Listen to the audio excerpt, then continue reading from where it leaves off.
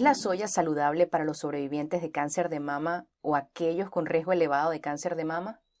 Los alimentos de soya han sido tema polémico en los últimos años, incluso entre los profesionales de la salud, empeorado por la información errónea que se encuentra en Internet. El principal de los conceptos erróneos es que uno ve artículos en Internet que dicen que los alimentos de soya promueven el cáncer de mama, debido a que contienen una clase de compuestos de fitoestrógenos llamados isoflavonas. Y debido a que los estrógenos pueden promover el crecimiento del cáncer de mama, la gente asume que los fitoestrógenos podrían también hacerlo. El tema es que la gente no se da cuenta que hay dos tipos de receptores de estrógeno en el cuerpo, alfa y beta. Y a diferencia del estrógeno real, los fitoestrógenos de soya se unen preferentemente y activan los receptores de estrógenos beta.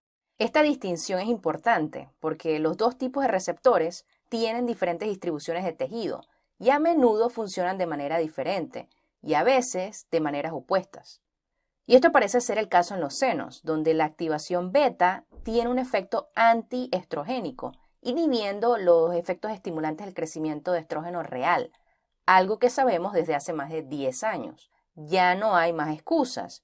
Los efectos del estradiol, el estrógeno humano primario, sobre células de mama son completamente opuestos a los de fitoestrógenos de soya, que tienen efectos antiproliferativos sobre las células de cáncer de mama, incluso a las bajas concentraciones que uno obtiene en su torrente sanguíneo comiendo solo algunas porciones de soya. Y esto tiene sentido, teniendo en cuenta que después de comer una taza de frijoles de soya, los niveles en la sangre causan una activación significativa de receptores beta. Entonces, ¿de dónde viene esta noción obsoleta que la soya podría aumentar el riesgo de cáncer de mama? La preocupación se basó en gran medida en investigación que mostró que el principal fitoestrógeno de soya, genisteína, estimula el crecimiento de tumores mamarios en un tipo de ratón. Pero resulta que no somos ratones. Nosotros metabolizamos isoflavonas de soya de manera muy diferente a los roedores. La misma soya lleva a niveles 20 a 150 veces mayores en el torrente sanguíneo de los roedores. Si comieras 58 tazas de soya al día, podrías conseguir un poco de activación alfa significativa también.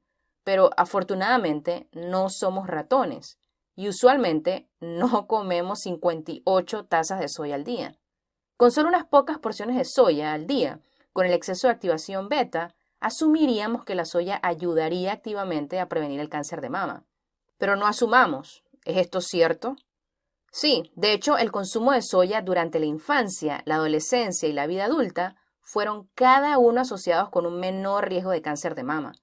Las mujeres que consumieron la mayor cantidad de soya en su juventud parecían crecer con menos de la mitad del riesgo.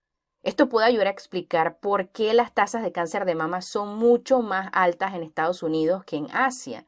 Sin embargo, cuando los asiáticos se van a vivir a los Estados Unidos, empiezan a comer la dieta occidental estándar y a vivir como los estadounidenses.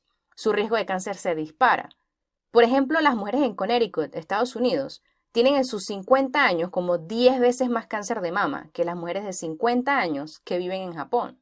Pero no es solo genético, ya que cuando se mudan a Estados Unidos, sus tasas de cáncer de mama aumentan generación tras generación a medida que se adaptan a la nueva comida y forma de vida. Pero, ¿son suficientes los efectos antiestrogénicos de los alimentos de soya para realmente cambiar el curso de la enfermedad? Cinco estudios se han realizado sobre la supervivencia del cáncer de mama y los alimentos de soya, con más de 10.000 pacientes con cáncer de mama estudiados. Y los que comen más soya viven más tiempo y tienen un menor riesgo de que el cáncer vuelva. Pero, ¿qué pasa con las mujeres que llevan genes del cáncer de mama? Menos del 10% de los casos de cáncer de mama corren en las familias, pero cuando los llevan, es más probable que sean las mutaciones de uno de los genes supresores de tumores, BRCA1 o BRCA2, que defienden la integridad de nuestros genes. Estos están involucrados en la reparación del ADN y por lo tanto, si uno de ellos está dañado o tiene mutaciones, podría resultar en anomalías cromosómicas, lo que nos puede llevar al cáncer. Esta idea de que tenemos genes supresores de tumores se remonta a la famosa investigación de los años 60, que demostró que si se fusiona una célula normal con una célula cancerosa, la célula cancerosa no convierte a la célula normal en maligna. Más bien, la célula normal suprime la cancerosa. Los genes supresores de tumores se dividen típicamente en dos tipos. Existen genes que mantienen las células cancerosas bajo control y los genes que protegen a las células que no se vuelven cancerosas. Y los genes BRCA parecen ser capaces de hacer ambas cosas. Por eso su función es tan importante. Hasta hace poco, las recomendaciones dietéticas para aquellos con mutaciones se centraban en reducir el daño del ADN causado por los radicales libres, comiendo un montón de frutas y vegetales llenos de antioxidantes.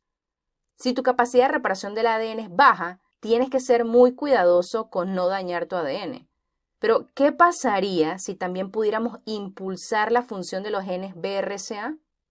El consumo de soya se asoció con un 27% de reducción del riesgo de cáncer de mama en las personas con genes BRCA normales, pero hubo un 73% de reducción del riesgo en los portadores de las mutaciones del gen BRCA.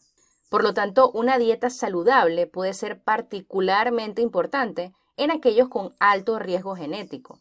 El consumo de carne, por ejemplo, se relacionó con el doble de riesgo en aquellos con mutaciones BRCA, 97% de aumento del riesgo en comparación con un 41% más riesgo de cáncer de mama en aquellos con genes BRCA normales.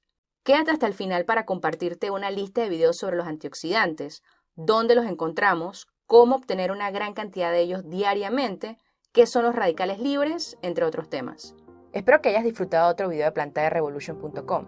Si fue así, dale me gusta, déjame un comentario. No olvides suscribirte al canal y hacer clic en la campanita para recibir notificaciones y así saber cuándo subo un video. Y recuerda, lo aquí presentado no es una opinión, es ciencia.